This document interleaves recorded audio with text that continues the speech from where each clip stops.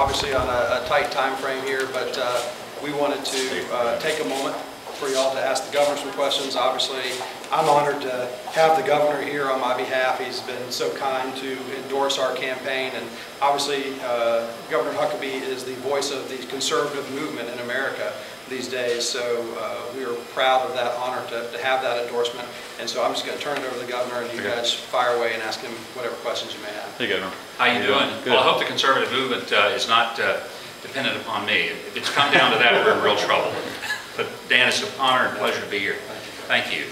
Uh, Governor, uh, what brings you to North Carolina and uh, uh, how long have you known uh, Mr. Forest here and his uh, uh, campaign for office? and- Well, I've known of him Okay. uh, oh, for several months during the course of his primary, and, but we had not met until today. And I Okay. just found out uh, that his mother is a dear friend of mine and somebody I love and respect very much, uh, Congresswoman Sue Myrick. So I like him even more, I told her. But uh, no, I'm, I'm here strictly for him, and that's the only thing I'll be doing in North Carolina today and tonight. Okay. Um, You're uh, in tune with politics so much and you have your show and all that. Uh, If you were uh, running Governor Romney's campaign, what would you do different, if anything? And and how would you reach out to the voters between now and the elections? You know, it's always so easy to second guess somebody else's campaign. Everyone always second guess mine. The only thing I'd do is tell Governor Romney to get down here to North Carolina and help Dan, and uh, then I'd make sure he won North Carolina. Um, What do you think about uh, uh, some things going on in Washington DC in terms of uh, deficit and and the economy in general? What are your thoughts on what needs to be changed? I mean, clearly, the, uh, I think the lack of having good business people, common sense, is killing us. Uh, They're spending money we don't have, borrowing money we can't afford to pay back. I think every election really becomes a referendum on common sense in America. And uh, it- it's a good example of even this election for lieutenant governor. You got one person who's not a career politician, hasn't spent his life in government, spending out there where you have to make a payroll, hire and fire people, you have to build clients, you have to build them that which is competitive, uh, and you have to do a quality job, because if you don't, you don't get the work. Government is a place where you don't have to necessarily have quality, because it's hard to get fired in government. Um, You can spend money without regard to how it's going to be paid for, because the legislature will just dole out some more.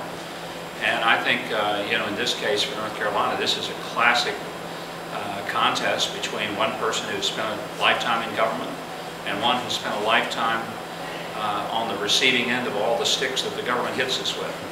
So uh, hopefully people in North Carolina, and I hope across the country, will understand this election, not just in North Carolina, but across the country, is really a referendum on common sense. Okay.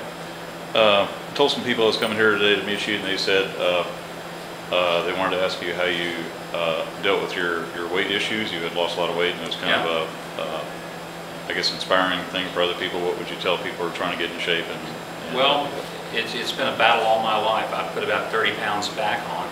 Uh, messed up my knee running the New York Marathon. That was my fourth marathon. Never quite gotten over that.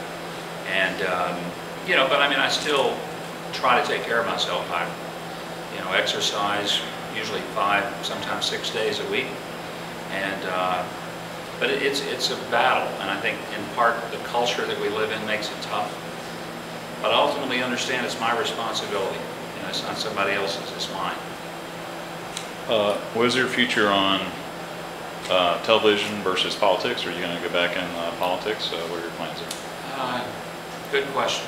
I don't rule anything out, you know, I, I'll see, but what, if somebody asked me four years ago, do you plan to be, you know, doing radio and television, I I probably would have said, gee, no, I was hoping to be in the White House. But that didn't pan out, so, you know, here I am. I guess if this career doesn't work out, I can always go back and run for president again. Right. Okay. Um, One more question. Okay, okay. Uh, Last question. Uh, In terms of politics, uh, it seems to be, uh, in the primaries, you know, people kind of cater to the, um, you know, the hardcore or extreme elements of both parties. Uh, So there's a lot of independents kind of in the middle. How do both parties, Democratic and Republican, reach out to those voters who may not, you know, be responsive to the things we see in the primaries? I? Yeah, I think it's a very, very valid question, and it's, It'll obviously be a question that'll decide the presidential, but, you know, apply to a local race. And I still think people are going to ask themselves, which of these two people has a similar experience as me? Which one of these folks will understand the world I live in? And frankly, I think most independent voters are independent because, um, you know, they're not eaten up with government all the time. That's not what they do. They're just not that focused on it.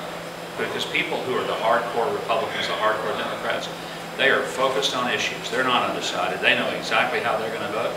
What about those folks in the middle? They just want to go to work every day, bring home enough of a paycheck to keep gas in their car, food on their table, clothes on their kids' back, and hopefully have a little left over for some fun. And I think they've got to ask, which one of these candidates or people running for office is best going to help me live that life? I think in a race like this, it gets pretty easy.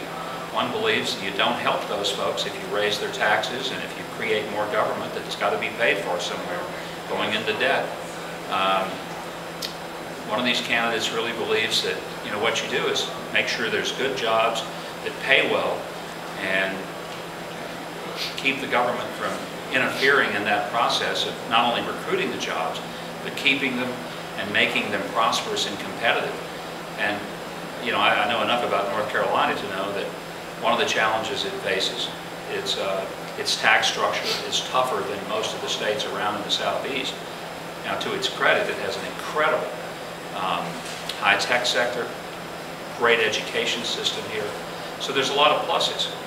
But somebody who's been in the private sector, who understands some of the challenges that one faces from government to recruit business and to keep business and to be competitive, I think that, that ought to make it real easy for an independent voter.